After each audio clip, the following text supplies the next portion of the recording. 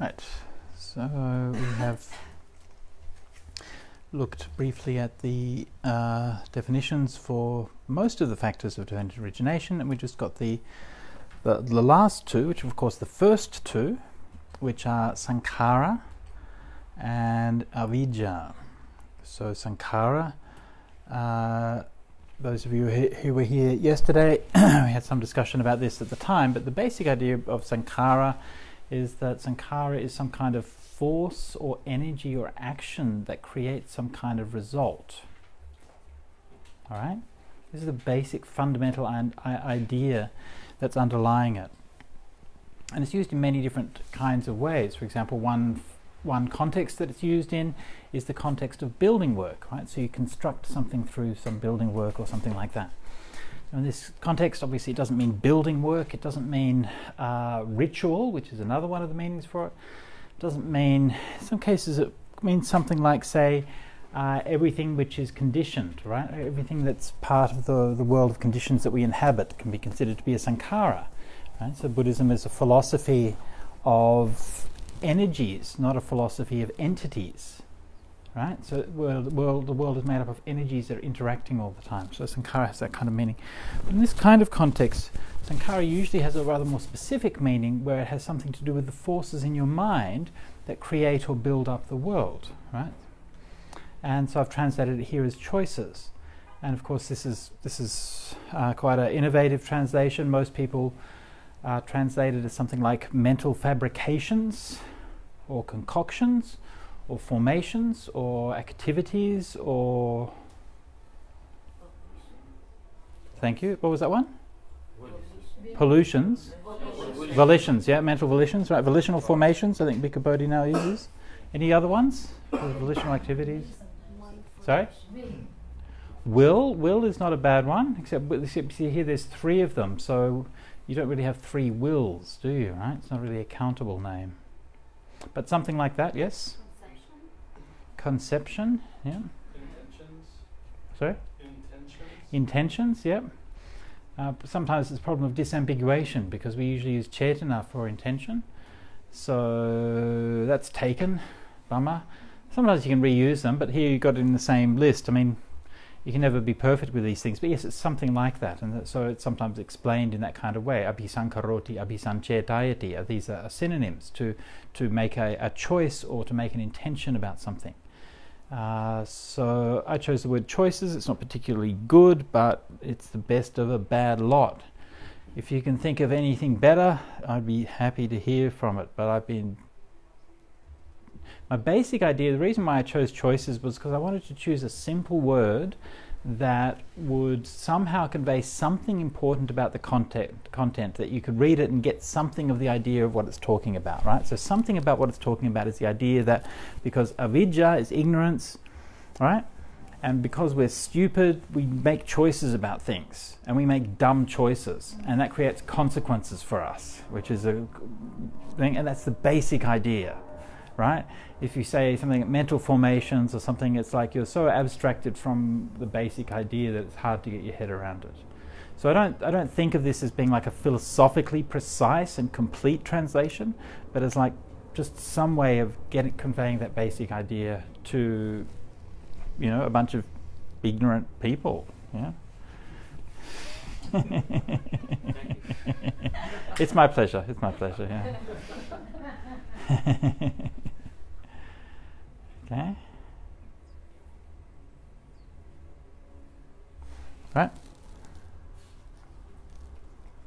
Choices and ignorance. Ignorance about suffering, the origin of suffering, the cessation of suffering, and the practice that leads to the cessation of suffering. So, this is the ignorance.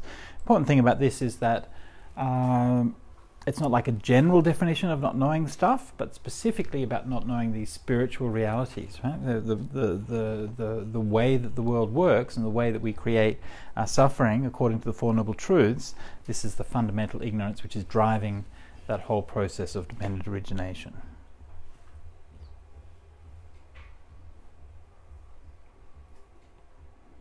All right? So that was relatively straightforward. So now we've done all the 12 factors of dependent origination. Yay! Everybody, give yourself a hand. Fantastic. That's excellent. Easy. Easy, right? Yeah, that's what Ananda said. Would have said, "You think this is easy? you wait." Uh, right. Okay. Now, ignorance is interesting, right? Not knowing. Let me read to you briefly a uh, one of my favorite texts from the Rig Veda.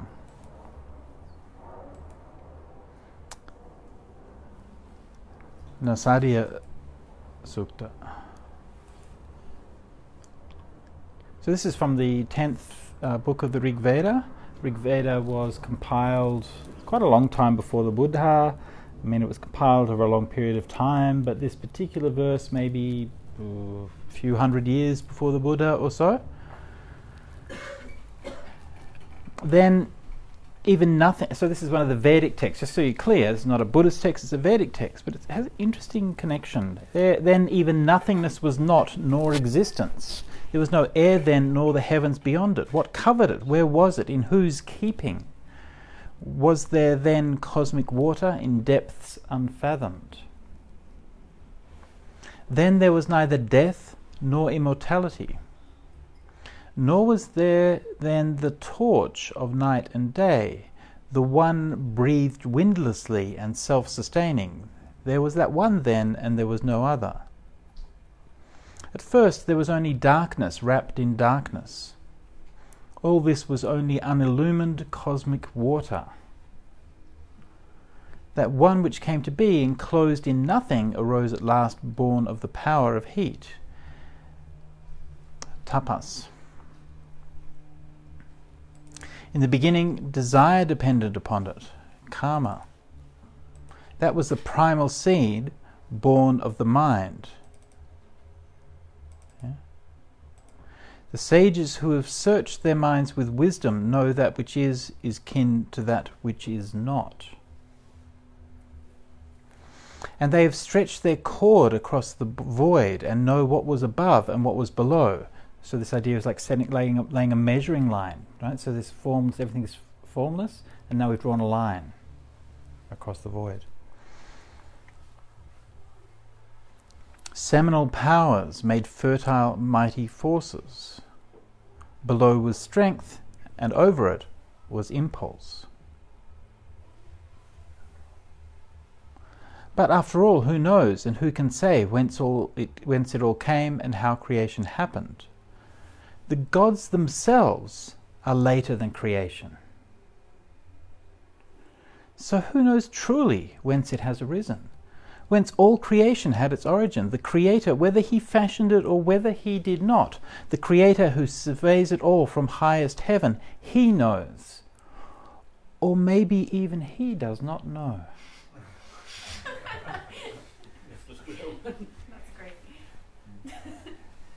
So Anga Veda, Yariva Naveda. And it's such an incredible piece of writing and such an incredible piece of philosophy and everything. And remember, this is the Vedas, right? The word Veda means knowledge, right? And the last word of this, you see what it says Yadi, Veda, Yadi, not Veda. maybe we don't know, actually. yeah? Maybe this is knowledge, maybe this is not knowledge. And you can see what, what, a, what to me, what a beautiful spirit infuses this that whole text, that spirit of wonder, right? Throughout this kind of whole thing, like, you know, th- th- there it was. Who covered it? Where was it? In whose keeping? Was there then cosmic water in depth? Something Like this idea of cosmic water is really uh, universal in creation mythology, right? The thing is just water, everything's formless, and it's sounding in a very poetic and reflective way. It sounds a lot like the very common creation mythology, which you find across, you know, I don't know about all cultures, but certainly very widely across cultures. I already mentioned before some parallels with the, the Genesis story, but you know you can think of the Genesis story with the beginning there was nothing, just a formless void, and God, the Spirit, moved across the face of the waters. And that idea of the defining line, splitting dark from night, heaven from earth, good from bad, yeah, This is critical to how all this kind of evolves. And then desire. right? So there's, there was a, uh, a paper which was written a number of years ago now, which drew a whole lot of, um, of quite interesting connections between this particular passage and the dependent origination. I don't want to sort of go too much into the details of all of that, but I believe that one of the purposes of dependent origination, again, seeing it not as a absolute statement, but as part of a dialectic, part of a conversation, right? Part of a conversation is that in in a if you want to use the word, in a religion or a spiritual path or something like that, it is felt that we want some answer to, like, where did we come from, right? What happened, right? What covered it? Whose keeping was all this in? Beautiful way of putting that in whose keeping. Yeah.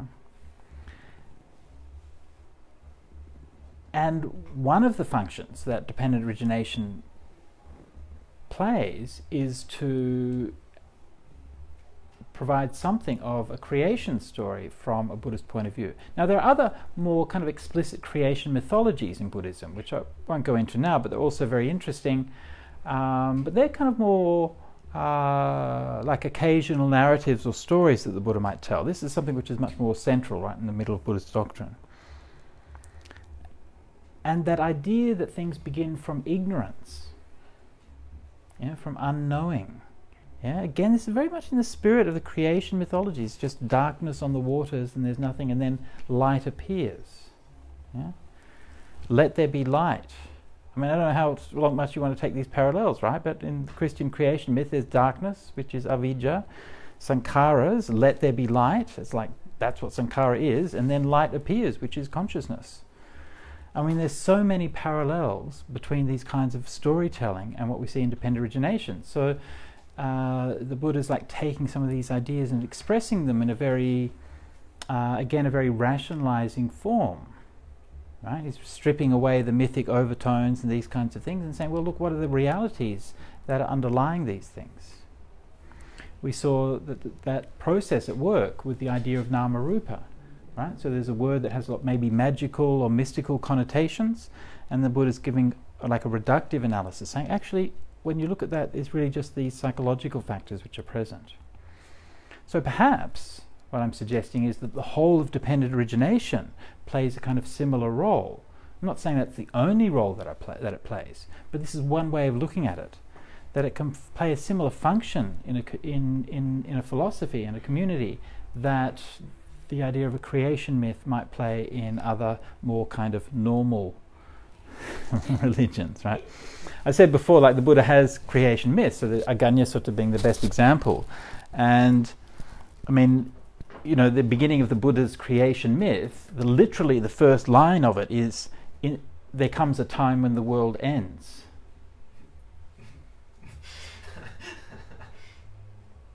That's the first line of the creation myth. So the Buddha was not a normal person. he didn't think the way that we do, right? He he saw things in this kind of different way, but he drew on these kinds of ideas. And the idea that we start from this perspective, maybe even he does not know. Maybe even he does not know. And that's that's like it's like a, a, profound and beautiful insight to acknowledge within a religious and spiritual tradition, right? To be, you know, you think about how, how, how religions mostly work, right? They work because you walk around with some book and you say, "This is it. We know. I'm going to bash you on the head with it until you know you agree that we know the same things as we do." Right? And this is saying, well, actually, maybe not. Right? It's, it's acknowledging the limits of knowledge. Yeah?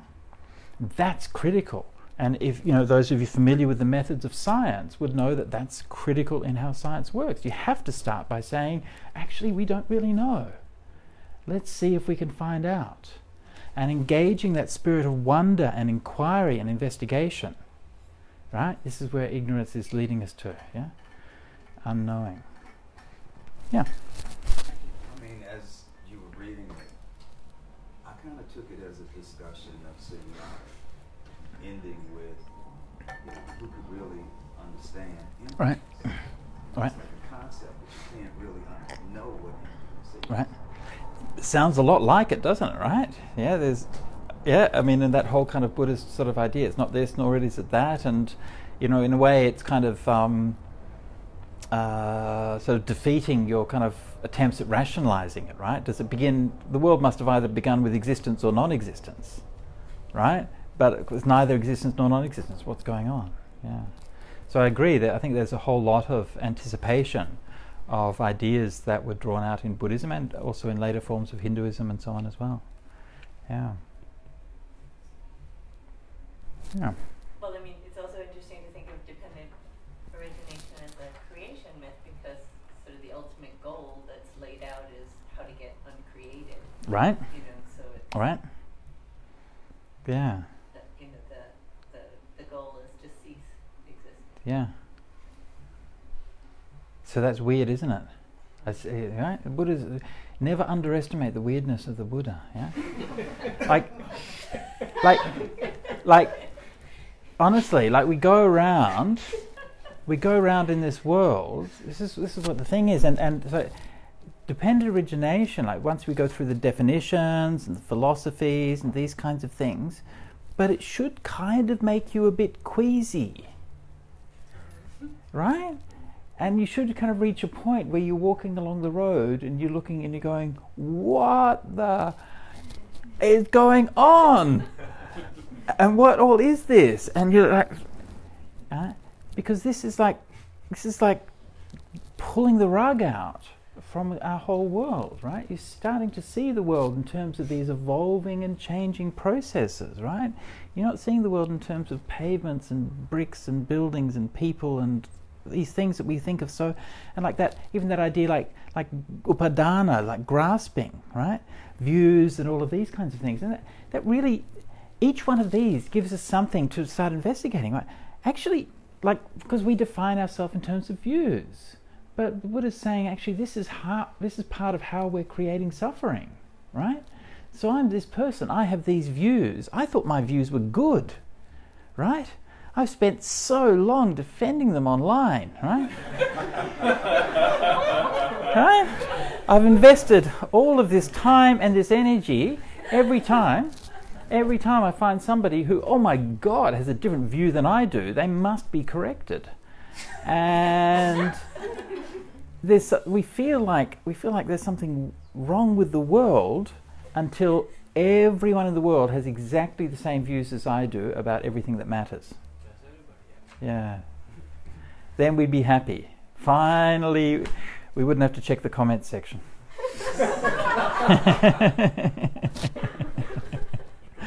of course, the reality is that that world would be very boring. Yeah.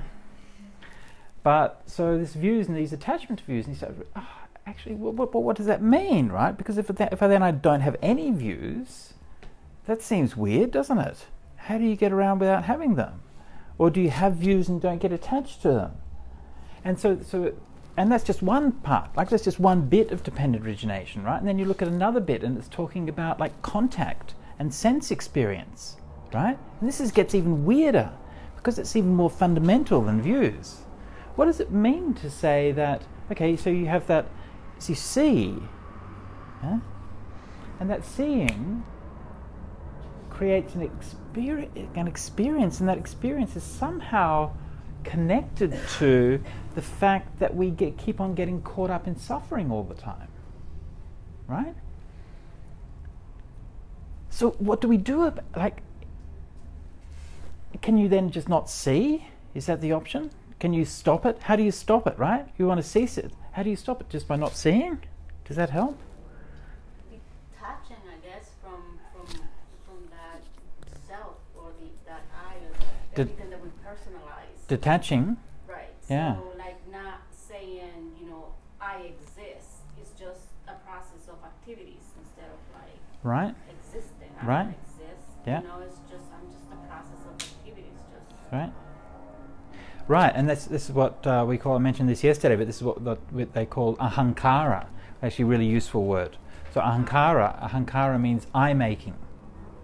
Right? So it's this idea that this concept of an I, a concept of a self that we have inside ourselves, it's not just there, right? We have to keep building it up. And so through our thoughts and attitudes and things like that, we constantly have to build it up and reinforce it. Yeah? Which is giving us a clue. Right, because we attach to the body, we Right. think that the body is actually us. Mm. Like we, ex- you know, this is, you know, because it occupies space and time, you know, then because we have to have something that is solid, so we choose the body as like we exist. Right. Yeah. We talked a lot about this yesterday, actually, with the in, in the context of the five aggregates uh, and that idea of attachment to the different parts of the aggregate. But yeah. So, this whole kind of thing, we're like on this. You know, if we start with ignorance, like, okay, so starting with ignorance in a way is. Starting with ignorance is good. Why? Because it's pretty straightforward right? It's quite knowable, right? We can we can know that we're, we we don't know about certain things. We can accept the fact that we are ignorant about things. That's why you're all here, right? You're all here to join a class and learn something, right? So you acknowledge that you're ignorant. So that's a starting point. Okay, that's good. Nice. And not only it means that we we can accept that and it's a reality, but also it means that we share something in common with other people, right? the ship of fools, yeah, which actually would be a great name for a monastery, right? Balanava. That would be my third mon- Maybe we'll make a branch monastery. Yeah. Balanava. I like it. Yeah. Yeah. yeah, the Balanava Hermitage. Yeah. anyway, so. So. So we and so there's some aspects of this which are, which is good, but it's also a bit worrying, right? Because if we're really ignorant, then how do we know how to get out of it? Right? I mean, we're lost, we're confused, we're wandering around in the dark without having any idea of like where we are, what are we doing, where do we want to go, what is dark, who am I, what is a road, where are we going to get make a starting point? Where are we going to make a starting point? Just when I came over here, went th- went through th- going through the airport in um, uh, where was it? Santa Cruz or something? No, anyway, San Francisco, somewhere near. And I saw someone with a T-shirt uh, that said a very famous line from Tolkien: "Not all those who wander are lost."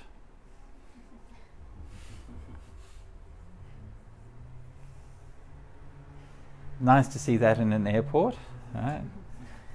But it really struck me. You know, I've heard that line so. You know, I grew up reading Tolkien. You know, and I have heard that line so many times before. But it's beautiful, isn't it?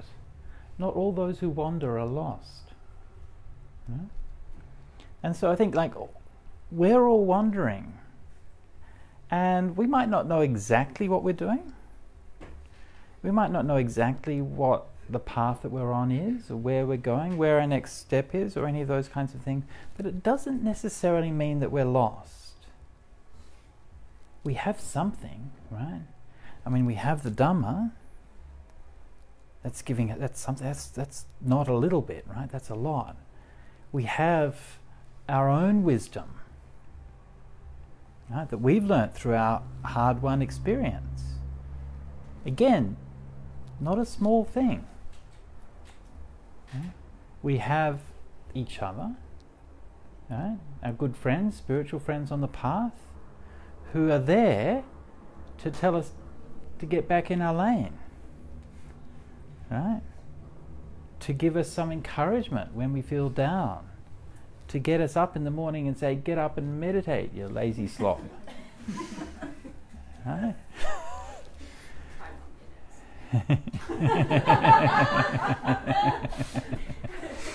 That was me this morning. Not in that language either. All right. Not in that language. Not in that language, m- But, yeah. much much less polite language. And right, so not all those who wander are lost. Well, you're describing the refuges. maybe. Yeah. Hmm. So the the the truths remember remember that these truths that the Buddha said are hard for people to understand. And for us to really take these on board and really appreciate what it is that they're saying, it's really challenging. And so don't kind of dismiss it. I don't want you to sort of go away from today's workshop and, and then say, oh, that was a nice workshop. I learned a bit about dependent origination. I want you to go away from this workshop and say, oh my God, what is the meaning of my life? Everything I've done is wasted.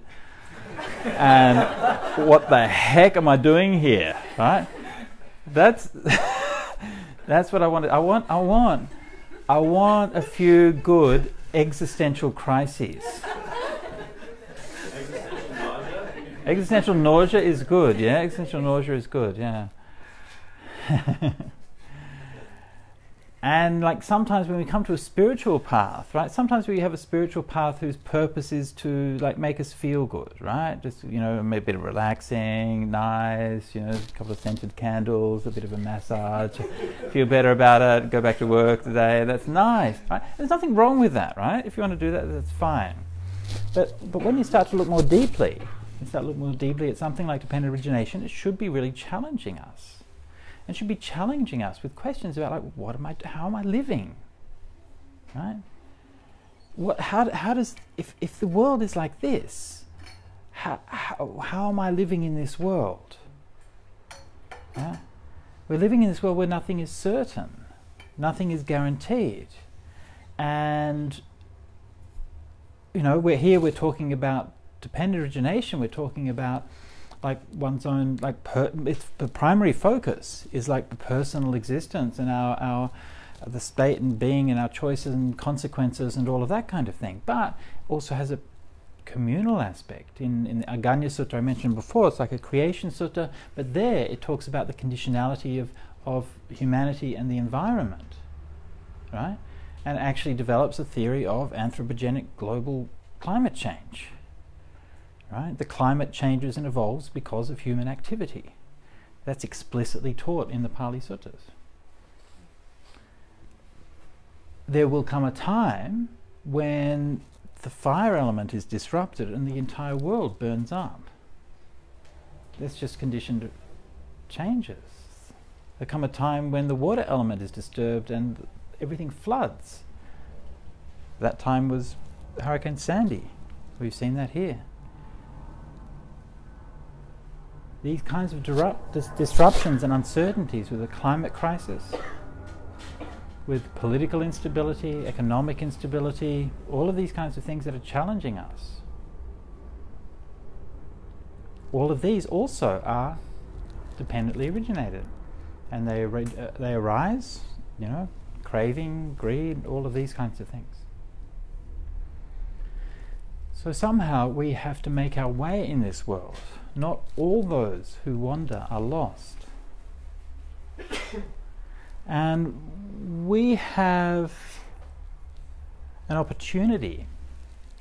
Those of us who have been lucky enough to encounter the Dhamma, we have an opportunity to reflect on this and to reflect on ourselves as wanderers, to understand, number one, that we are in fact wandering.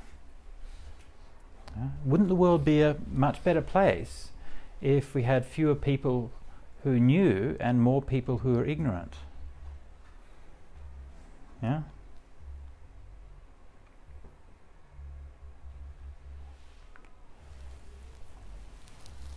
So when we're starting independent origination, we're starting with that idea of ignorance. So don't think of that as necessarily kind of a bad thing. It's just nature. It's just, it's just how it is. We don't really know what we're doing. But because of that ignorance, we make choices good choices, bad choices. And then that those choices create an energy that empowers our consciousness to go into different states. And then that's what fuels this whole cycle and this whole process.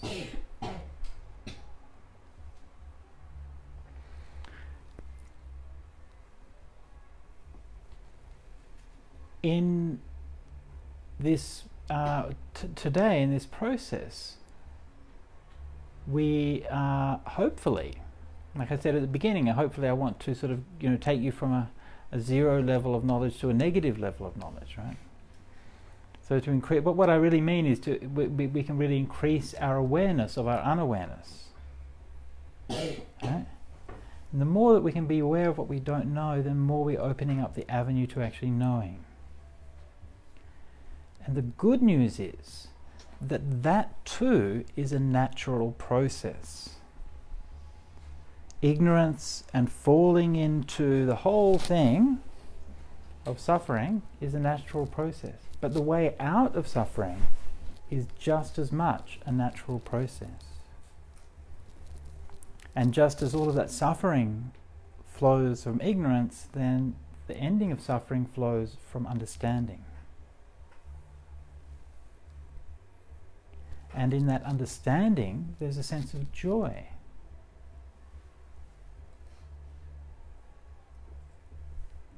And that joy brings peace. The peace brings clarity, the clarity brings stillness, the stillness brings insight, the insight brings freedom. This too is a natural process.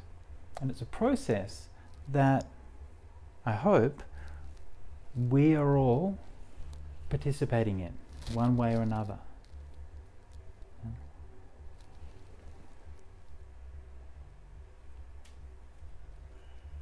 Over to you, yeah.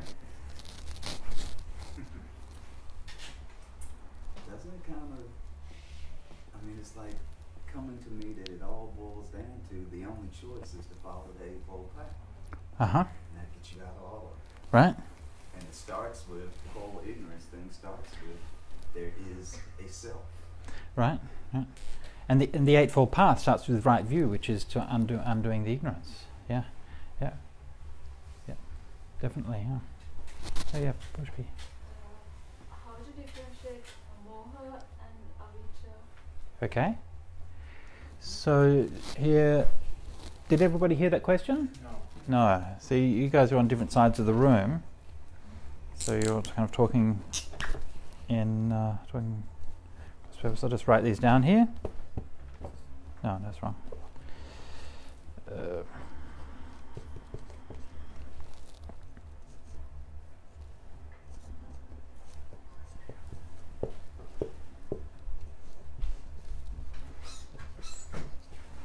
right. So we have basically two two different words in, in Buddhism. A lot of other words, but these are two important ones to talk about this idea of, of unknowing or ignorance or something. One is moha, usually translated as delusion, and the other one is avidya, uh, usually translated as ignorance. Okay, so the question is, what's the difference between these two things? On the one hand, well, there isn't really any difference; they're basically the same thing.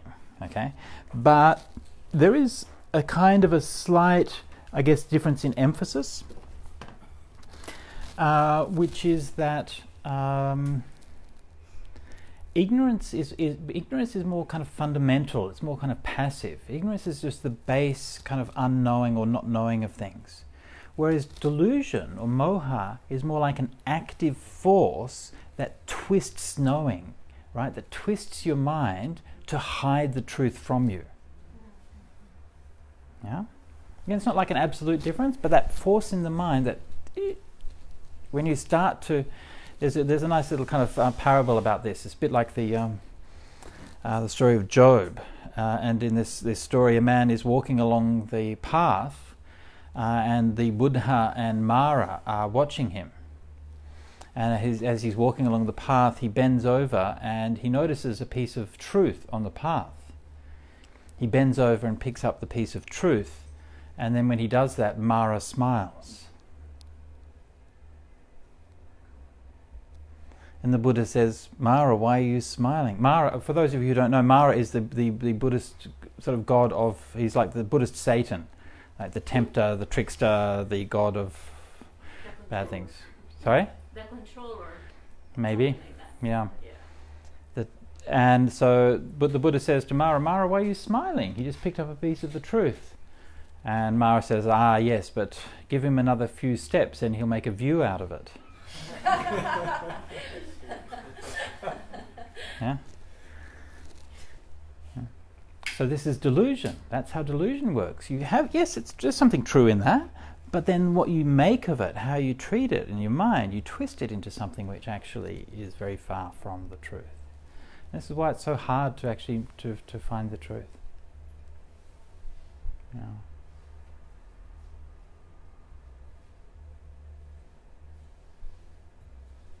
one of, is the story from the Sutta? That one? Yeah, the That story? No. I read it. I read it years ago. I can't even remember where it was. Anyone know where that's from?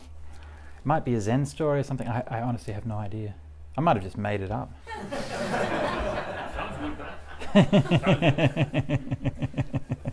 I don't think so, though. I think I read it somewhere.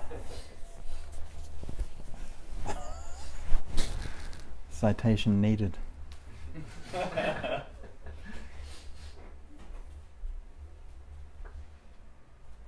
Okay. Good. So uh, now, why don't we uh, go ahead? And like I said, that you know, there's there's so many interesting suttas on dependent origination and so many things. And so, one of the, the sort of the points that we've come to at this point is to look at. Uh, like the relate, like the idea of like how do we kind of get out of it, right? I mean, you know, honestly, it's such a rich teaching that you can you can draw on any of these threads and any of these links and ideas, and you know, weave a whole thing out of it. But let's just look at one uh, sutta, which is an interesting and uh, slightly uh, unusual sutta, uh, in that it integrates dependent origination with other aspects of the teaching in in different ways. So, you, is this going to give you kind of some kind of sense of how the teaching can be this particular teaching can be applied in some different ways? Right. This is quite a well-known sutta uh, called the Titthayatana Sutta in the Anguttara Nikaya. Uh, 6.60, uh, th- sorry, 3.61. If anybody wants to find it, and 3.61. Mendicants, these three sectarian tenets, as pursued, pressed, and grilled by the astute, when taken to their conclusion, end with inaction. What three? There are some ascetics and Brahmins who have this doctrine and view. Everything this individual experiences, pleasurable, painful, or neutral, is because of past deeds. There are some ascetics and Brahmins who have this doctrine and view. Everything this individual experiences, pleasurable, painful, or neutral, is because of the Lord God's creation. Issara Nimmana Hetu. There are some ascetics and Brahmins who have this doctrine and view. Everything this individual experiences, pleasurable, painful, or neutral, has no cause or reason. Ahetu appaccaya. Uh, let me just turn on that Pali. Uh, thinking I should have. Where are we going? No, not Chinese lookup, Pali lookup. Uh, where are we now? Okay, so three, three, so it's called sectarian tenets, and these are the three sectarian tenets. Okay, one is the sort of views held by people who are not Buddhists. Uh, so these are the other, some of the other groups and teachings and so on at the time. So three kinds of views. One is that everything is produced from past karma, sabbangtang pubbakata hetu. Another one is that everything is created by God, issara nimmana hetu. And the other one is that things have no cause or condition, ahetu appaccaya. Regarding this, I went up to the ascetics and Brahmins, whose view is that everything is experienced because that everything that is experienced is because of past deeds. And I said to them, "Is it really true that this is your view?" Okay, so a few things to notice here. So the Buddha is talking about uh, views which are held by various people at the time in ancient India, two and a half thousand years ago. All right. So there's, I mean, this already is quite interesting. Number one is you can see how diverse the different views were. Right? It's not that like everybody had the same kind of view. Actually, all these are quite very different views. Another thing that's interesting is that these are all very recognizable views that you can read about here, here today. Many people have exactly these same views today. Right? Weird, right? We think we're so modern, everything's so changed, right? Actually, it's just variations on a theme. These same basic philosophical ideas are talked about and debated at that same time.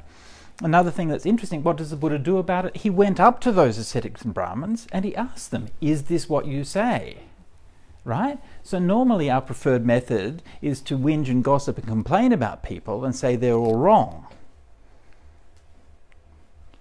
I don't know how effective that is. So, the Buddha's approach is to actually go to them and say, Well, look, I've heard that this is what they're saying. Is this really true? This is really powerful. And it's really worth bearing in mind. This is something which is a fundamental principle in the Buddhist Vinaya, which is the monastic code for the monks and the nuns, right?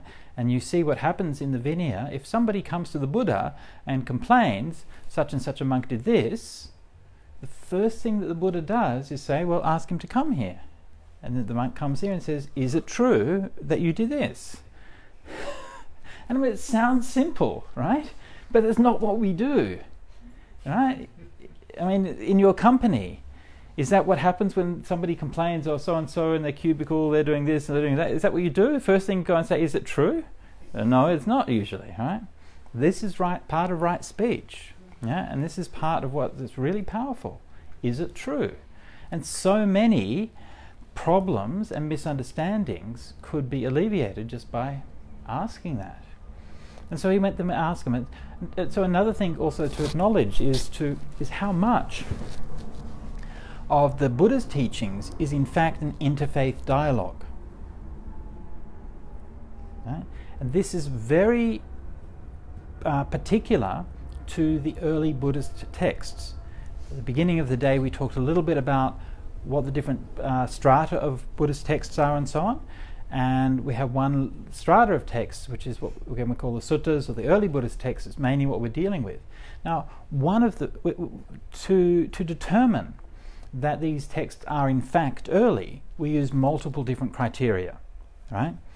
Uh, and I wrote a book on this with my friend uh, Venerable Brahmali a few years ago called The Authenticity of the Early Buddhist Texts.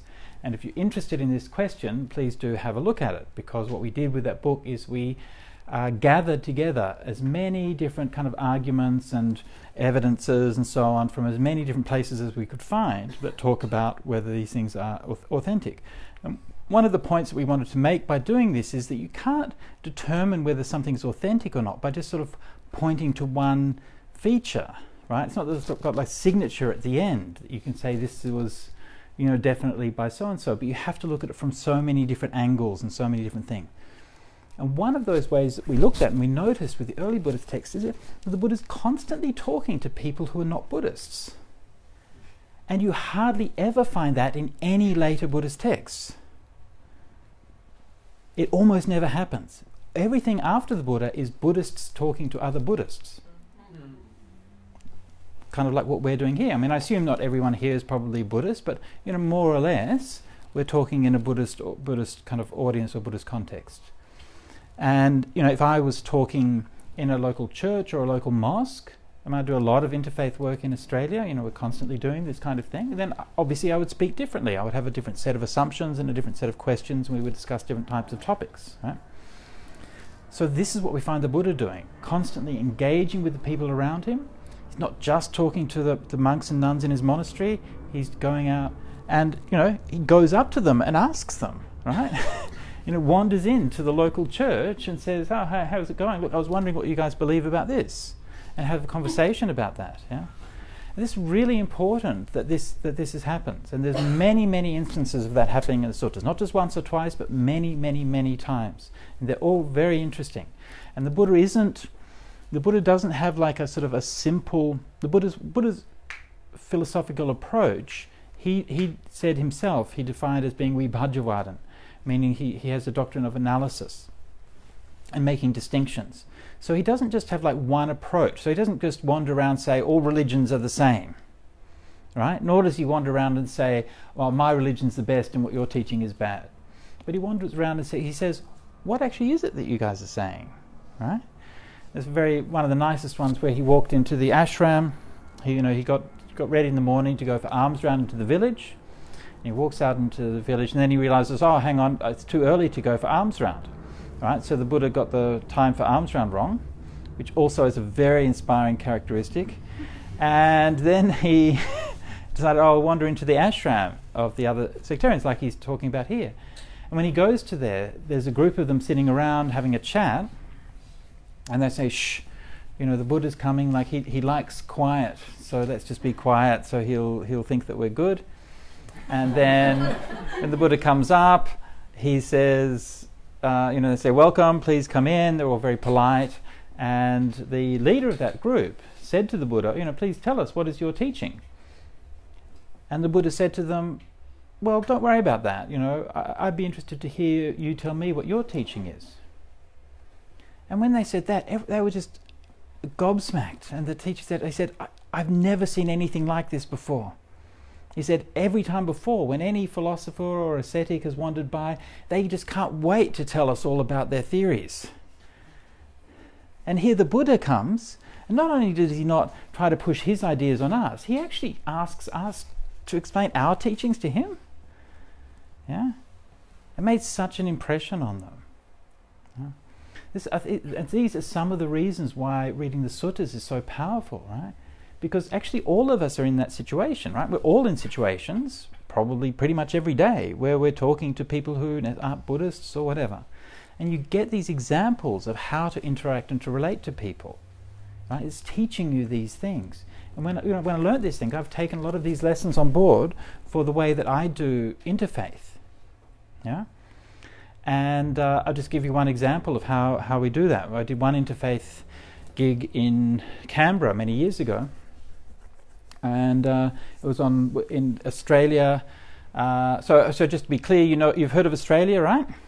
As, uh, we, we hear these stories about Americans and their geographical knowledge, so I just need to check how we're going here, right? You realize that, like, right? There's, there, there, well, first thing, there's like, there's like something outside of America.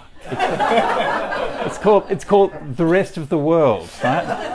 And in that, the rest of the world, uh, there's a place called Australia, and Australia is part of the British Commonwealth still, for some crazy reason. I don't really know why.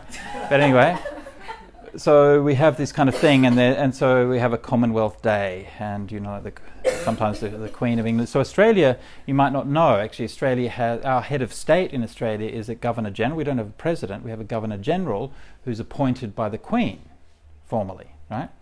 So it's actually an unelected head of state who has the power to dismiss the government and who in fact did dismiss the government in 1975. So this is how the Australian government is set up. Yeah, it's kind of problematic. Uh, anyway, so normally the head, normally the governor general is kind of a you know dignitary and doesn't have much power, but they do formally have the power to dismiss the government. Anyway, so we did this Commonwealth meeting. The governor general's there. There's all these kind of bishops and all these kinds of important people and things like that. And usually, because Buddhism is excellent for those who really dislike organized religion, so we don't have anything organized, and, and no one knows what to do. So they end up end up inviting me along to these kinds of things. And so anyway, and all the different religious people are there, right? They have this kind of panel, and we all have to say something. And these are these are supposed to be speaking from the people who are representing the religions which are found within the diversity of the Commonwealth right? So we have the, India is also part of the Commonwealth, so we have the Hindu speaker. Uh, there are lots of Islamic countries like Bangladesh, which are part of the Commonwealth, so a Muslim speaker and so on, and Buddhist also speaking uh, because Sri Lanka, I guess. Sri Lanka is part of the British Commonwealth, yeah. So Sri Lanka, so I get to speak on that. And each one of the speakers got up and said, you know, this is what Hinduism is, and explain what it is. This is what Christianity is. We explain what this is. This is what Islam is. We'll explain what it is. Now, this is Commonwealth Day, right? And the British Commonwealth is a very problematic institution. Yeah? And colonialism is a kind of really problematic thing, right? I know, right? And so, you know, but it's also true that the nations of the Commonwealth decided to stay in the Commonwealth right? They weren't forced to, so for some reason they decided to stay in. So I thought, well, I'll, I'll, I'll, I'll, talk about something good that the British did. And so I said, well, as Buddhists, we're grateful to the British because the British uh, Archaeological Department, led by Cunningham, rediscovered all the sacred sites of India. and he found Bodh Gaya and he connected all of those places and put them all together. And I talked about some of the positive things that the British had actually done to contribute to the direction of Buddhism. Not to ignore all the many awful things that they also did, but this was supposed to be a day of celebration, right? so you know, I just mentioned some of those things. And afterwards, I went, you know, after this bit of chit chat, and uh, someone came up to me and he said, he said, you were the only person that didn't stand there and say how good your religion was. You're the only person who actually expressed gratitude for somebody else. Yeah. And that's what he came away, and that's what he remembered. Yeah. So this is this is something about like what I've learned from from the Buddha and how he engages with these things. So don't when when we're when we're talking to people, like for you, each one of you, when you're talking to people from different religions and different backgrounds, don't just platitude at them. Right? Listen to them. Appreciate them. Don't feel threatened. If someone has a different view than yours, good. I'm really happy to learn from you. What is your view? If there's something similar, that's good. If there's something different, that's also fine. The Buddha wasn't erasing differences. If you erase all differences, boring, right? Differences are fun. Yeah, but don't go around shooting each other because of it. Right? You can have a philosophical argument about it, that's fine. Right? But you can still, like the Buddha would go to the ashram and have a discussion, and they'd come there and they'd have these discussions. And it's a discussion in good faith because you're all interested to understand the truth and to understand each other. Yeah? Yeah. But that now, let's say you know a, a Muslim or a Christian Hmm. so they might find that as an opportunity to proselytize you and try to bring you into their fold and hey, you know, money is better than you know, why don't you join us? Right. In which case, we have to invoke a very, very important line in the Buddhist texts, which I will find right now. now, this is a very good point, okay? So, um, uh, I'm just trying to think where, where are we? In, in the uh, suttas, sorry, in, in sorry, not in suttas. There are many uh, many times when engaging in interfaith dialogue and these things, it feels like it feels a bit kind of. Um, it feels a bit. Uh, manipulative, right? Because it feels like it's not really done in good faith. Yeah, actually, someone is not um, not really having a conversation, but they're really just there to try to get you to do something for them. Right? So this is where I think it's really important to remember the first line of the Mangala Sutta.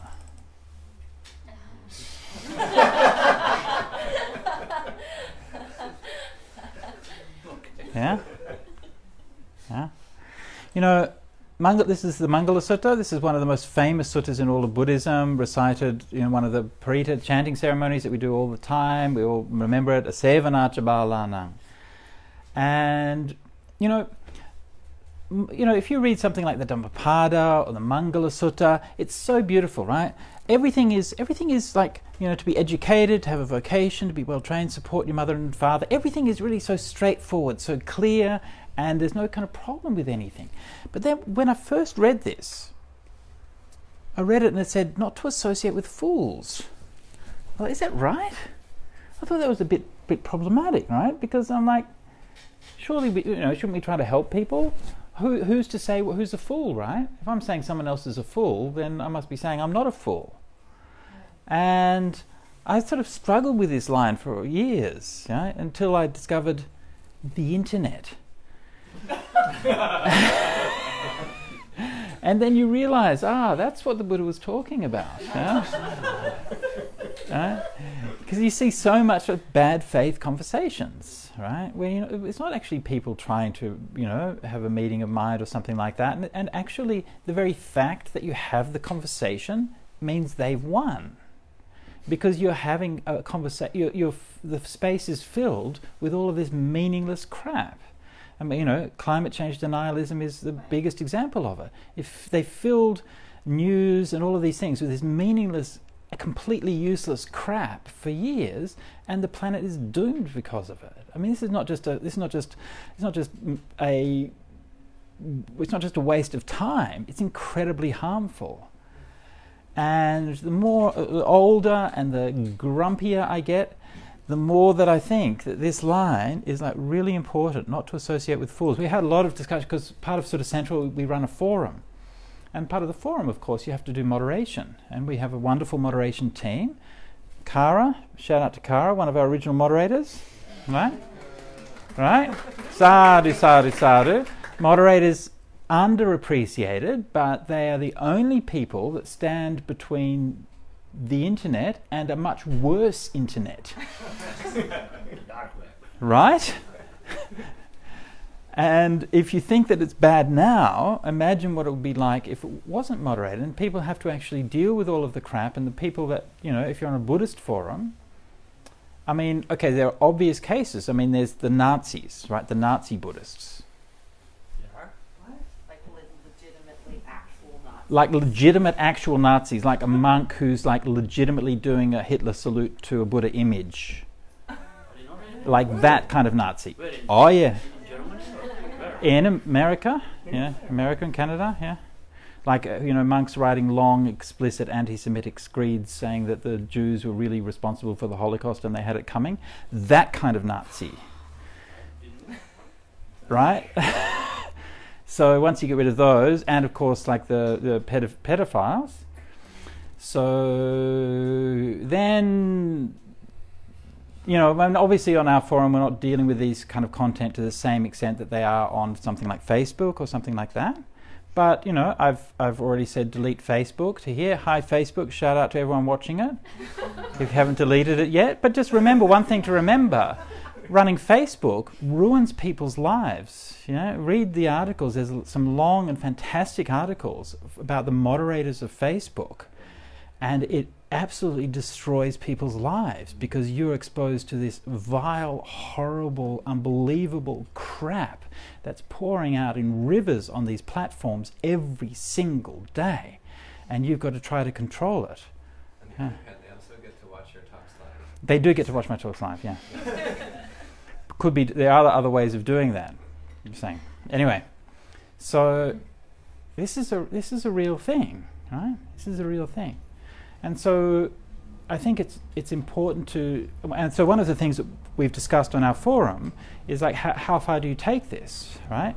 One of the kind of the funny dynamics, which is kind of funny, ha ha to me, is that, uh, and Kara will confirm this. I'm always telling the moderators just ban them, right? just get rid of them um, and, and invoke this particular line. And then we're like, oh, well, you know, let's try to reach out to them and try to reason with them, and hopefully they'll blah, blah, blah. I'm saying, yeah, if you want to, but I'd just ban them. and, but the moderator forum is independent, right? The moderators make their, make their own decisions. And so usually what happens is that they then reach out to someone, try to help them, and then they come to me and message me privately saying, oh, these moderators are so bad, blah, blah, blah, blah, blah. I'm like, dude, if you only knew. right? So, and why why I, I'm I'm sort of pro banning people? I mean, I've I've been through this. Uh, I'm I'm serious, I- I- and it's imp- I've been through this myself. I, I was viciously stalked on the internet at one point to the point I had to seek police protection. Um, you know, someone accusing me of rape and murder and all of these things. I'd never met this person and sending like thousands of messages to all Buddhist societies all around the world, accusing me of all of these things, right? So, you know, eventually I had to go to the police and say, look, I don't wish any harm on this person, but I just want them to stop, you know. Uh, they did, yeah. We managed to identify them, and and uh, I haven't had any trouble since then. So I assume Don't. know, They they they weren't able to tell me exactly what happened, but normally they'd they'd basically put a ban. They couldn't like use the internet. They probably had like mandatory psychiatric care or something like that. Um, anyway, it worked out quite well for me. Luckily, because I went down to the local police station. And the policewoman there is like, "Oh, I saw the Dalai Lama at the talk last week, and uh, so she was very amenable. Uh, anyway, anyway, it's getting getting kind of off the point, but but but the uh, where were we on the point? Oh yes, so. Don't be afraid if when you know that that situation is happening and this person is not engaging in a good faith argument. The best thing is to just walk away from the table. And what they really want, people like that really want, kind of the trolls and denialists and things like that, they, they want a seat at the grown ups table. They want to be taken seriously. But the problem is they're idiots. Right?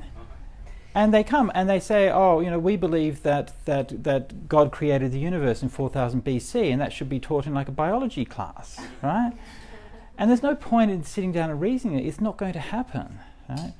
So you have to walk away from the table, and they have to learn that if they keep pushing these ideas, they're not going to get a seat, you know, in that in that rational conversation, because because they're not they're not taking part properly.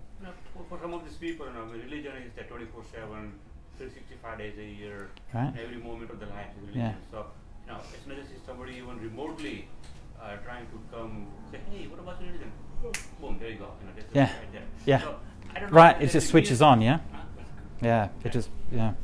Well, you, Yeah. The fools have, have almost completely taken over the table now. Right. So it's like the adults who want to, I don't know, sit at the fools table now or something. Yeah, don't make me even more cynical than I was before, yeah.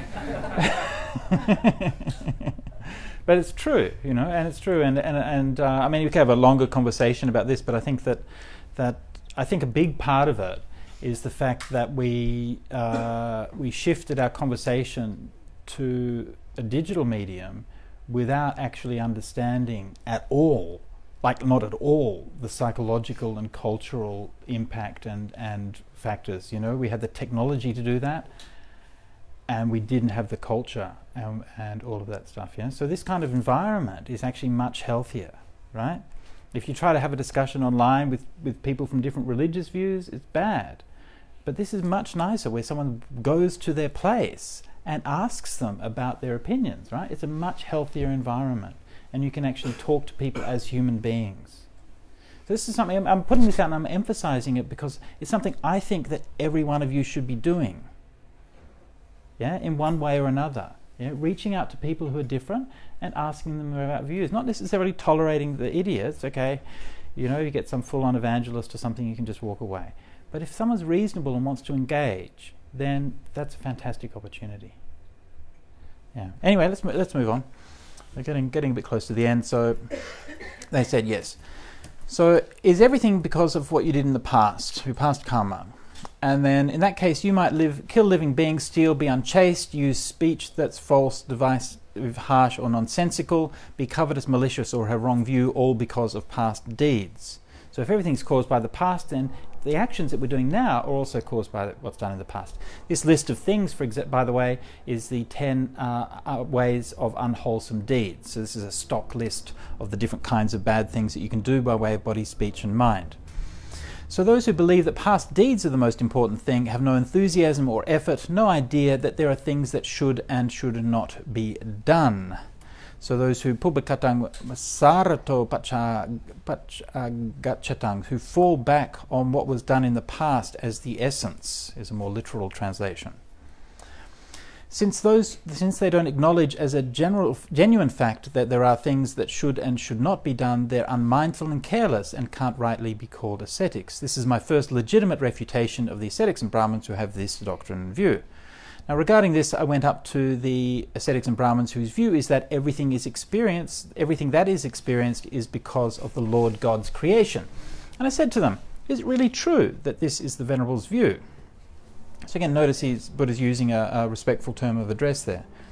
They answered, Yes. I said to them, In that case, you might kill living creatures, steal, be unchaste, use speech that's false, divisive, harsh, or nonsensical, be covetous, malicious, and or have wrong view, all because of the Lord God's creation. Right? So no matter you can do all of these bad things and just say, God made me do it. right? Uh, those who believe that the God, Lord God's creative power is the most important thing have no enthusiasm, no effort, no idea that there are things that should or should not be done. And of course, this is actually a very real issue. We were discussing this a bit earlier today, that, like that divide in Christianity, the conflict between sort of salvation by faith and salvation by deeds.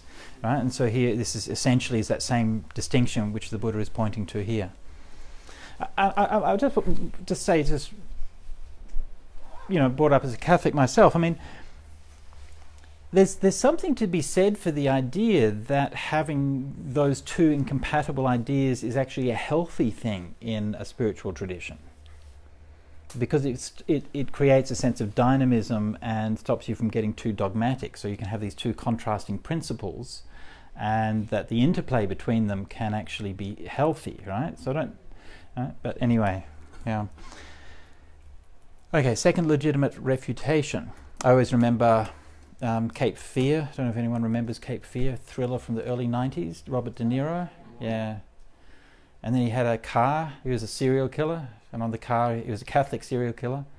His car, he had a, had a sticker saying, Both of us are sinners, but one of us is saved. Yeah, it's taking it to a somewhat extreme point of view. Yeah. Okay, I went up to those ascetics and Brahmins whose view is that everything that is experienced has no cause or reason. And I said to them, Is it really true that this is the Venerable's view? Yes. I said to them, In that case, you might kill living creatures, steal, be unchaste, use speech that's false, divisive, harsh, or nonsensical, be covetous, malicious, or have wrong view, all without cause or reason. Right? So you say, oh, "I was- you know, I'm doing these bad things, sure, but there's no reason for it. Why not? Right? And of course, there, there were, in fact, spiritual teachers in the time of the Buddha who taught this. I mean, we, we tend we like to pride ourselves on having kind of re- religious diversity and being tolerant and so on. But actually, would we tolerate a religion that taught there's actually no such thing as good and evil, and you can just go around murdering people all day and not do anything bad because of it? I think we'd have difficult. Sorry. Scientific materialism. I don't. Satanism. Want to be taken seriously. Satanists, Church of Satan. Yeah, Well, the Satanic Temple. it's, it's a satanic temple. Yeah, but I don't actually think that they really teach teach that kind of thing. They're actually so somebody. Uh, uh, Seven or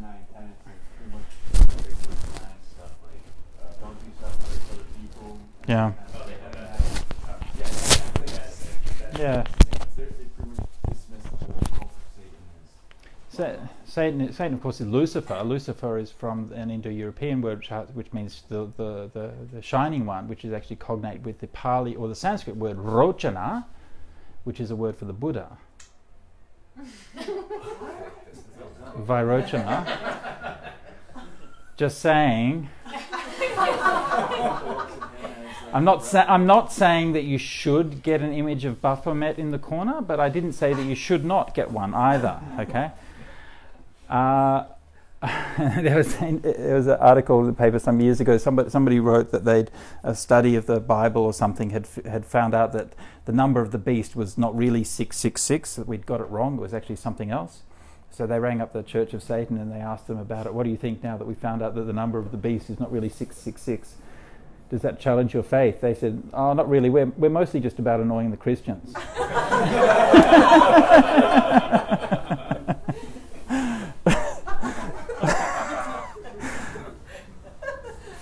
so, anyway. So, there we go. Uh, can't right be called ascetics.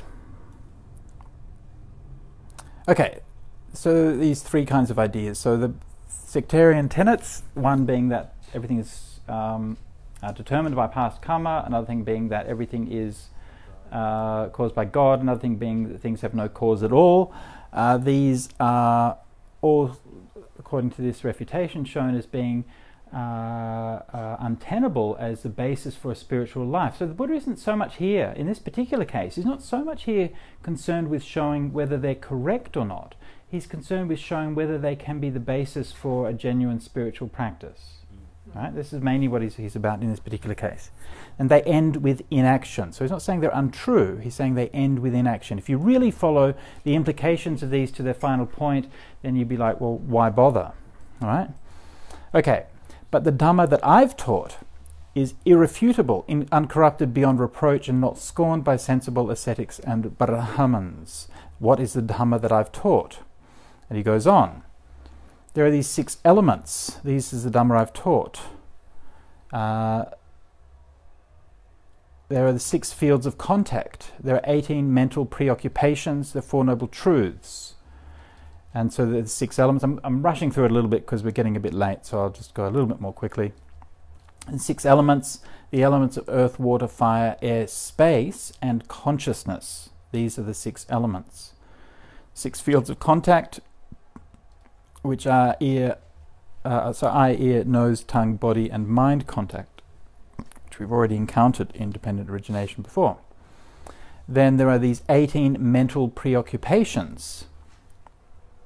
Seeing a sight with the eye, one is preoccupied with a sight that's a basis for happiness or sadness or equanimity. The idea here, it's a little bit of a, a tricky one to translate properly, but the idea here is that when you, when you, when you see something, like sight itself is, is kind of neutral, but you tend to sort of hang around or notice something because it stimulates some response to it right? So you see something beautiful you want to go back and look at that hang out or maybe you see something very ugly and then this is kind of draws your mind in some way and then that creates some kind of response yeah. so this is those those 18 mental preoccupations. Okay so six senses and one for each of the, the three feelings pleasant painful and neutral with each of the six senses These are the Four Noble Truths. Why did I say it? Supported by the six elements. Right? Back to the six elements. We, so the Buddha, notice how the Buddha's teaching. He's laying out the elements of his teaching, right? And now he's showing how they're all connected. Based on the six elements earth, water, fire, air, space, and consciousness, uh, an embryo is conceived. Upadaya gabhasavakanti hoti. When it is conceived, there, is, there are name and form. Okantiya sati namarupang. So name and form is in here is closely associated with the development of the embryo in the womb. And this is not the only place where this happens. Right? We already saw in Majjhima, what is it, 38? Uh, the, yes, that's right, Majjhima 38, the connection of dependent origination with conception and with growth in the womb, that organic thing. And here it is again, and there are other places as well where that's happening. When that embryo is conceived, there's name and form. Name and form are conditions for the six sense fields. Again, that idea of development, right? So the embryo is growing and developing these six senses. The six sense fields are conditions for contact. Contact is a condition for feeling. Uh, so again, in notice again in how all of these things that the Buddha is drawing together, those elements that he laid out before. Right? The six senses, the six spheres of contact, the 18 mental preoccupations, now is it all being drawn into here. Contact is a condition for feeling. It is for one who feels that I declare this is suffering. This is the origin of suffering. This is the cessation of suffering. This is the practice that leads to the cessation of suffering. Vediyamanasa kopanahang bhikkhave idang dukkhanti panyapemi. Ayang dukkha samudayoti panyapemi, ayang dukkha nirodhoti panyapemi, ayang dukkha nirodhagamini patipadati panyapemi one of my favorite lines in the whole of the Pali Canon. Yeah. To me, and to me, it's just so beautiful. Yeah, for one who feels. Vedyamanasa.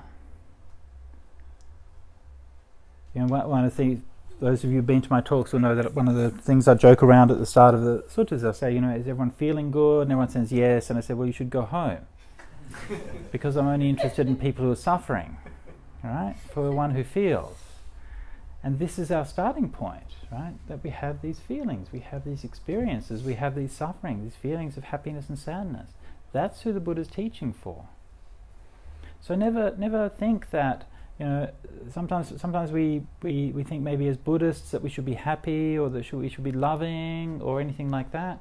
It's okay. It's good to feel those things, but you're not always going to feel those things, and that's just how emotions go. That's how feelings are. It's okay, right? And when you're going through that darkest time and you're feeling lonely and you're feeling anxious and you're feeling depressed and you're feeling hopeless, you think, ah, oh, that's who the Buddha was teaching for. The Buddha was teaching for me. Yeah?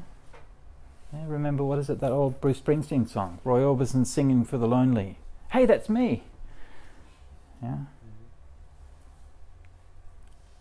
The Buddha is teaching for you. And that's a beautiful thing to remember. Yeah? When you're at your lowest point, remember, ah, this is, the, this is, what, this is what the Buddha meant. This is what he was talking to. Yeah? Vedyamanasa.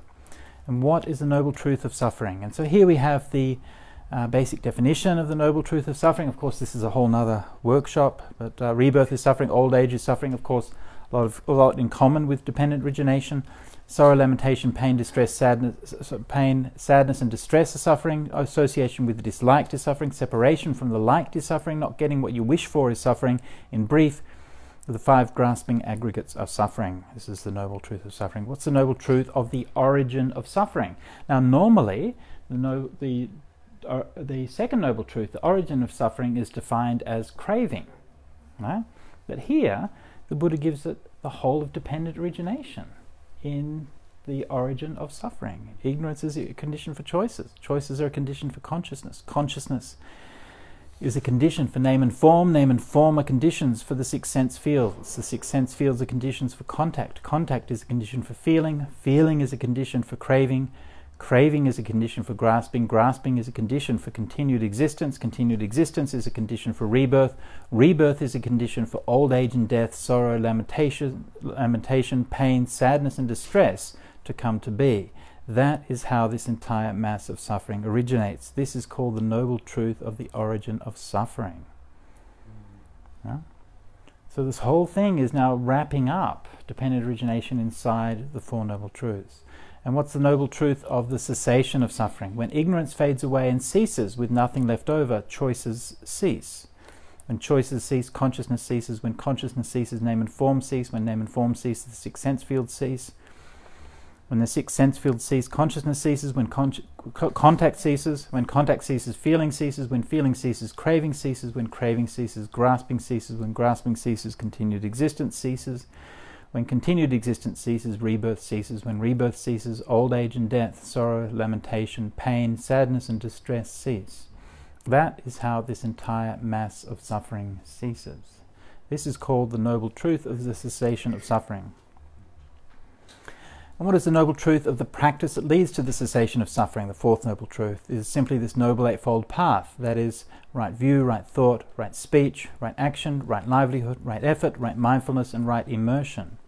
This is called the noble truth of the practice that leads to the cessation of suffering. These are the Four Noble Truths. This is the Dhamma that I've heard, uh, sorry, that I've taught that is irrefutable, uncorrupted, beyond reproach and is not scorned by sensible ascetics and Brahmins. That's what I said, and this is why I said it.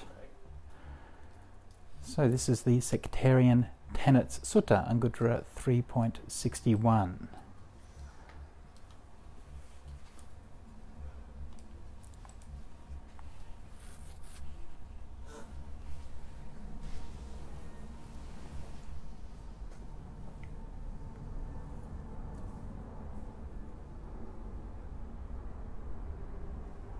Okay, so got a bit of time left.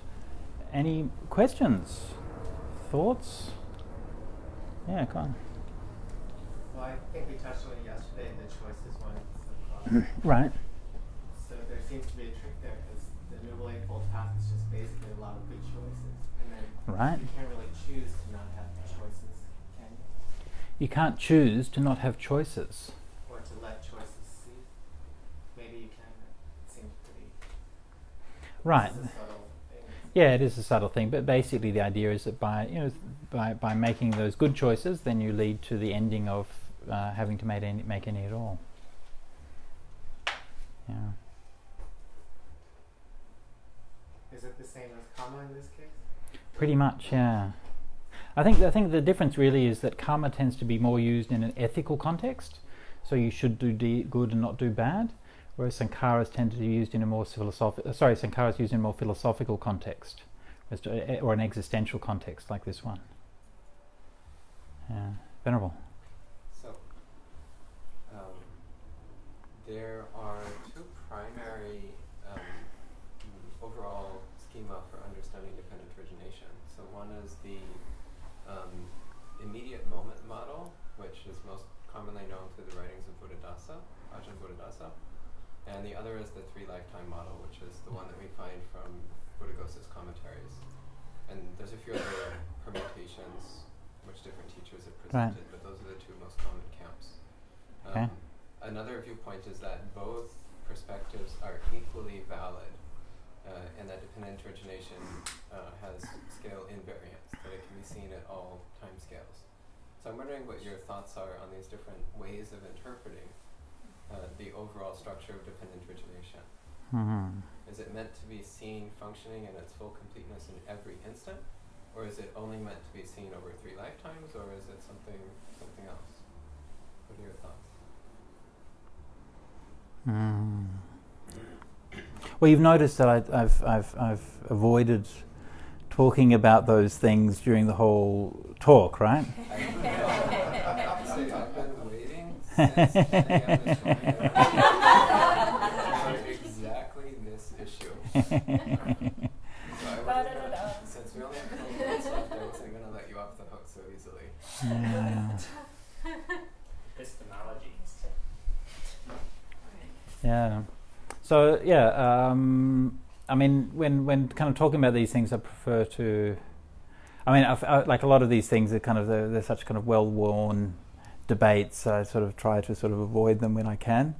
Uh, so know, it's like when I when I talk about bhikkhunis, I try to avoid talking about Mahapajapati and the Garudhammas and things like that. So I just kind of try to, uh, you know, try to focus on talking about something I think will be useful and maybe show some kind of new perspective on things. Um, look, okay, so let me answer that by maybe explaining a little bit my, about my own personal evolution in Dhamma. I don't know, okay? A different way of putting it, right? So, when I first encountered the Dhamma in Chiang Mai, right, I was a, uh, you know, just uh, I said before, not all those who wander are lost, but some of those who wander are lost, and that was me. um, and I ended up in Chiang Mai, and I didn't really know what I was doing. And I rocked up at this guest house called the Eagle House.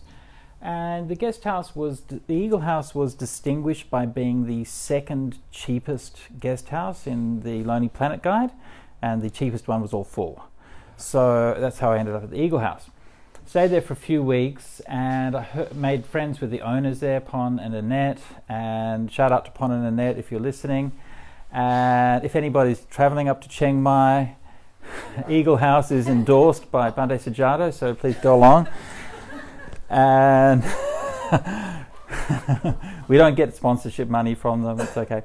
But uh, then you know staying in the monastery there for a while you know obviously buddhism is all around you right? So you you know just take an interest in the things that's around you. And i, I came across a book by ajahn buddhadasa the handbook for mankind. And that was actually the first dhamma book that i ever read. Uh, and you know, uh, you know it's kind of mind-blowing right when you first encounter the dhamma i mean the thing that really struck me, the really kind of the idea that really hit me at that time was the idea of the arahant. And the idea that you can actually have like enlightened beings, like that it's possible for a human being to actually like like have let go of suffering and be enlightened and stuff, and that there actually like be people like that walking around on this planet, right? It's just, it just blew my mind. I, had, I was like so fascinated with this idea. I never, I never thought about that before. You know, it was sort of just humanity with just variations on mess. so, you know, this is kind of fascinating. And, you know, he, in there, so uh, for those of you who are perhaps not familiar, Ajahn Buddhadasa was a teacher. Do, do you guys know who Ajahn Buddhadasa is? No. Yes? No? Some? Yes? No? Okay. So Ajahn Buddhadasa was a Thai teacher uh, in, in, in the m- sort of middle of the 20th century. He passed away, I think, during the 1990s. Uh, and he was an extremely uh, talented, uh, intelligent, and uh, you know, great practitioner who joined the Sangha and sort of swiftly became quite disillusioned by the state of what Buddhism was at the moment, at that time. And one of the things, of course, which is very characteristic, is basically everybody is interested in sort of just doing, sort of making merit so they can go to heaven. Right? That's one of the kind of big things. Like one of the first things I learned about Thai Buddhism is like when you give the food to the monks, that you give whatever you want to eat when you go to heaven. Right? So you know, right? And so you give whatever you want to eat when you go to heaven, but in heaven there's like no cholesterol? So, just whatever you like, that's fine. So, uh, and so Ajahn Buddhadasa sort of started looking into things, and he really studied very deeply the suttas and you know Pali, and he was he was an incredible scholar actually, and a lot of the scholarly work which he's he did um, you know, hasn't made its way into English, but he did a lot of a lot of things, and he was incredibly influential. But he was also very controversial, and he was he was kind of known as a stirrer, right? I mean, in the early seventies, uh, you know, Vietnam War is going on. There's all these communist incursions in the, the countryside and all of these kinds of things. And then Buddhadasa wrote, writes a book saying basically Buddhism and communism are pretty much, you know, have a lot in common. And this was like really disturbing to people, yeah. And a lot of the people in the hierarchy and the sort of mainstream of Buddhism there hated Buddhadasa, like with a passion. You know, he was sort of away down in the south, so he could sort of stay away from the politics in the capital.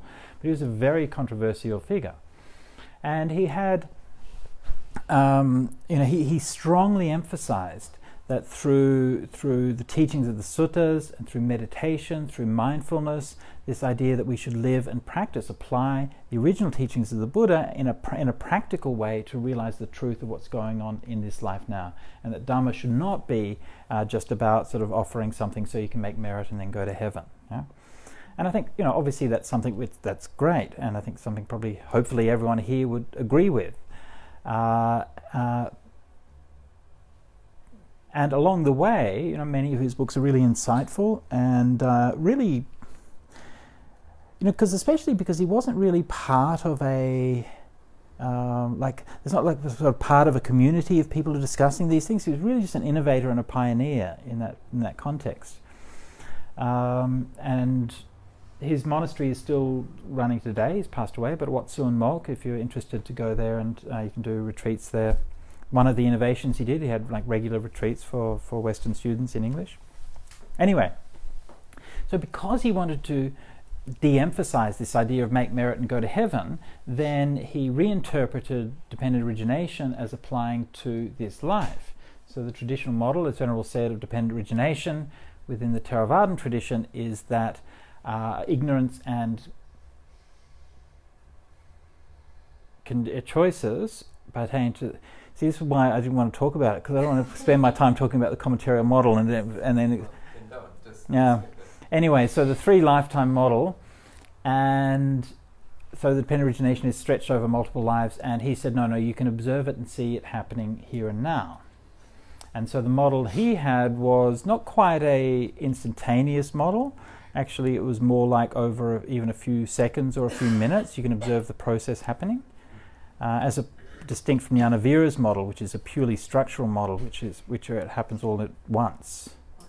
Yeah, so Vira's and Buddhadasa's models are conceptually quite different. Anyway, so this was this that was li- like literally the first book that I read about Buddhism, and obviously it made a lot of sense to me because. Huh, it agreed with all the things that I believed already, right? It, I, I, didn't have to believe in rebirth because Ajahn Buddhadasa, is he saying there's no such thing as rebirth? Wasn't entirely clear, and people have different perspectives, but some people think that that's what he was saying, right? It's a bit, you know, not, not necessarily entirely obvious. So, anyway, I didn't believe in rebirth, so I'm like, hey, this is good. I was right all along, yeah? And that's what the Buddha was. The Buddha agrees with me. Excellent. Good on you, Buddha. You got it right. and then I went and did this retreat. So I do this Vipassana retreat, like a month long intensive retreat. It's great. It's very, you know, uh, very intensive. And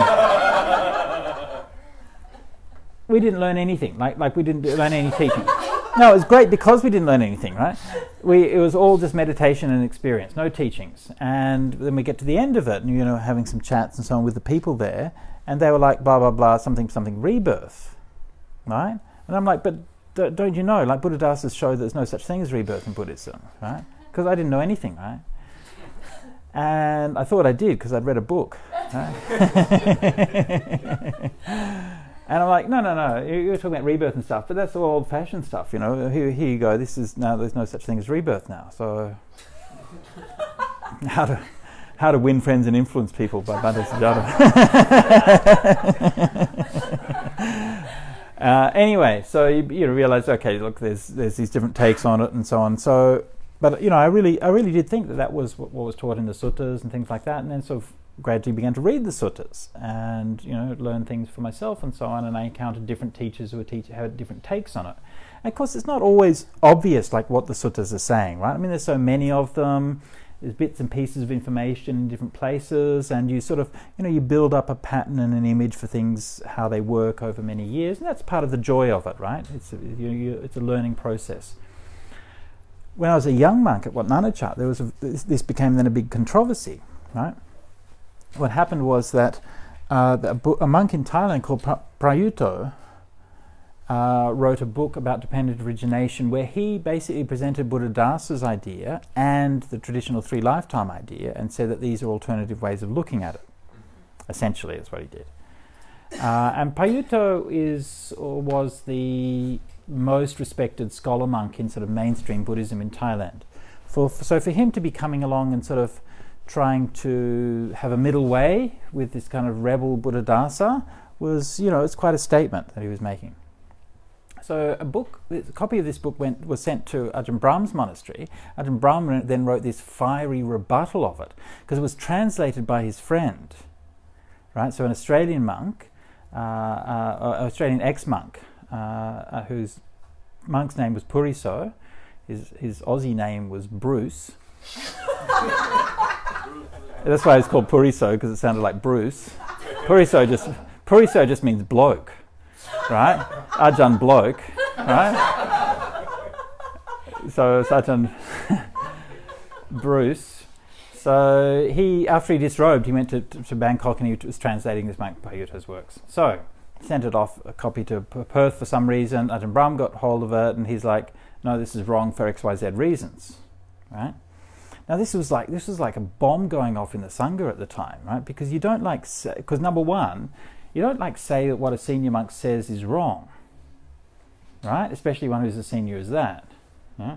I mean, remember, this was a personal letter. He wasn't like publishing something or anything like that. He was like saying, well, you know, I don't really agree with him, and these are the reasons. You know, he's writing a letter to his friend, but of course, didn't stay there. It got photocopied and spread around. we all eagerly got it and read it and debated and so on. But it was also very controversial because the, the head the Western monk who's the head of our order at that time, well, not really the head of our order, but nominally in England, was Ajahn Sumedho, and he teaches that one life interpretation as well. So this was sort of felt as being a direct criticism of what Ajahn Sumedho was saying, even though he wasn't sort of mentioned in the letter. So it was kind of very controversial, and Ajahn Brahm got a big dressing down for it. So those of you who think that the Bhikkhuni ordination was the first time that Ajahn Brahm got told off, no, no, no, no, no. There's a whole history behind it, right? And you know, he's from his point of view, he's he's you know having a discussion about Dhamma, and we can we can have a disagreement and have different interpretation of things. And so he he wrote this this article which which pointed out a bunch of things, some of them fairly obvious. So you know we already saw in that definition, like your question earlier. This is why I didn't want to go in too much detail into your question because it's a, once you open the lid, you just keep going, right?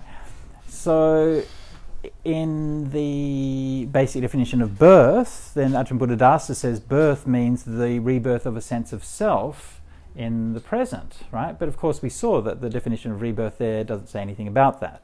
Uh, similarly, the sense of old age and death, there's no sense that this is a psychological metaphor for these things, but that it's actually talking about getting old and dying, right? And so on. So there are other, you know, textual points and reasons and so on to debate as well personally, I think that the I think that I, I, think this definitely is concerned with like the process of rebirth and samsara and how that's being built up and how it fuels consciousness through that process. I definitely think that's the case. I think that the three lifetime model is a little bit kind of too reductive and sort of a bit bit too like it's not it's not there are there are there are reasons there are reasons for that model which you can find in the suttas, right? It can be supported to some degree in the suttas. It's not entirely incorrect at all, but I, I, do feel it's like a little bit too sort of cut and dried for what the teaching is. I think I think I think it's actually more flexible and more nuanced. So this is one of the th- reasons why when I'm t- trying to teach it today, I'm trying to teach it in a way which is like bringing in some of those more kind of nuances and flexible kind of things rather than ex- presenting it according to just a very kind of cut and dried model. Uh, which you know it's easy to find if you're interested in these things. It's very easy to find these things. Like basically any traditional Theravadan book will give you the the three lifetime dependent origination model, uh, and plenty of books by Ajahn Buddhadasa or by Ajahn Sumedho or somebody will explain the the the one lifetime. So these are easily available, And look, I, you know, it's a complicated thing. We're not necessarily going to resolve all of those issues, but there's a richness to it. Right? There's something. There's something which is provoking in the way that it's presented and the way that it's drawn out that actually invites a kind of inquiry and a richness of interpretation. I mean, another apart from the oh, sorry, allow me to make just one or two more points. One point is that that so far we've been really considering it solely from a Theravadan point of view, but of course that's one of the basic Buddhist teachings. It's it's essentially identical in the Tibetan and Chinese points of tr- traditions and so on as well. And I'm by no means very familiar with those and all the philosophical interpretations, but my understanding is that the, the basic outlines of the three lifetime teaching are also found within traditional ti- Chinese and Tibetan Buddhism as well. Um, so it's not like a peculiarly Theravadan thing. I think if you look, I think the Dalai Lama has a book on dependent origination, and he explains it, and basically even like almost all the definitions of words and things, it's almost identical to the sort of Theravadan sort of explanation. Um, so, uh, so that's that's one thing. Oh, the other thing about interpretation, which is probably worth mentioning, which is, and again I hinted at this earlier, which is that this this this interpretation or this teaching uh, applies the the concept and the process of conditionality to uh, a particular context, right? Which is how suffering arises, and you know, with a special emphasis on how suffering ris- arises for an individual, and how we can let go of that through our spiritual practice. Now, that same principle can then be applied to, say, how suffering arises in society, right? And there are suttas that deal with that. It can it can be looked at in terms of natural phenomena, and I mentioned earlier, like how climate change can arise, right? So there's an environmental dimension, which again is explicitly mentioned in the suttas on many occasions. Um, it can also be used like that. What the, the in a way the one lifetime idea is the idea that suffering is being originated through a process in the mind. So you could look at something like, say, the Madhupindika Sutta, the Honeyball Sutta, where basically that's exactly what it's talking about. Yeah. So that same principle can be applied in multiple different contexts, within the Dhamma and even outside of the Dhamma. So we can take the same idea and apply it, but that but that doesn't mean it just is the same thing, right? It means a similar principle applied in different contexts. So the context matters, is what I'm saying here. So I just want to round out this by just throwing out to you one more principle, which hopefully, like, if you believe that you have learned anything from today, I'm now going to say to you this. I believe that the Buddha didn't believe or teach in causality at all, and that there's actually no such thing as cause and effect.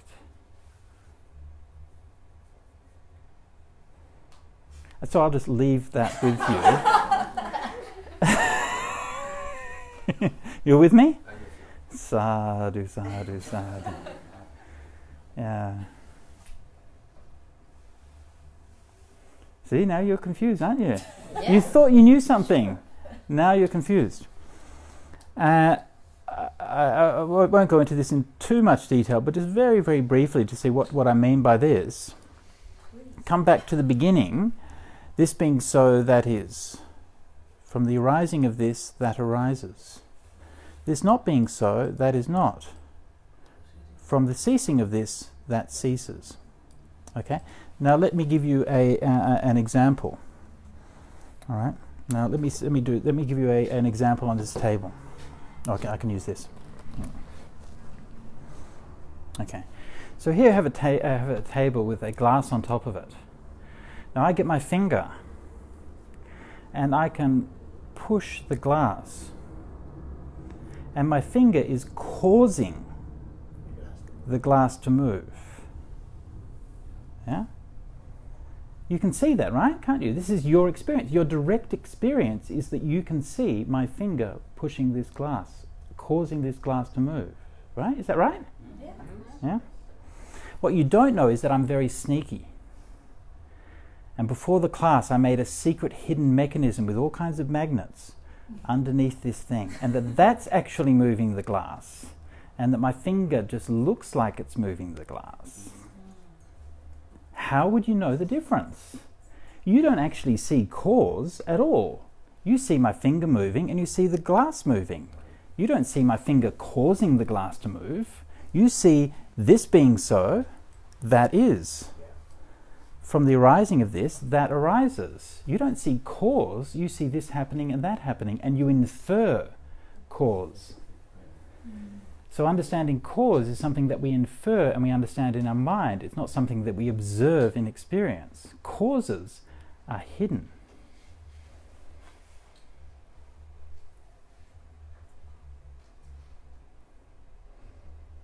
Hmm. All right.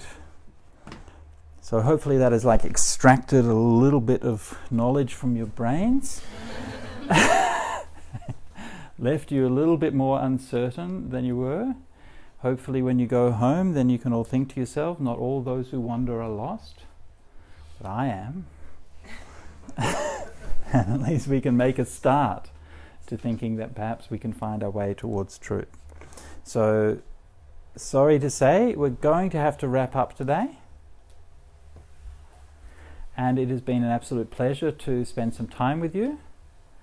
And uh, I express my gratitude to the two venerables who've started this centre and have made it possible for us all to do this. And what you've done is amazing. I think we all know that and also to all of those who've supported the centre here and made this community happen.